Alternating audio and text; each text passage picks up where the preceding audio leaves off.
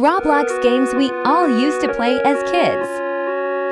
Like and subscribe if you remember these games.